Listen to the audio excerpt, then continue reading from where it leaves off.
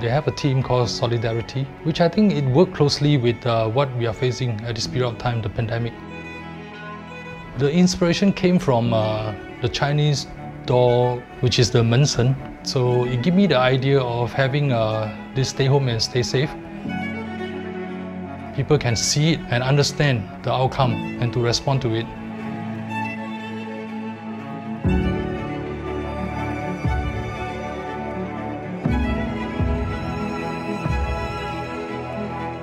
Art is a storybook to deliver messages.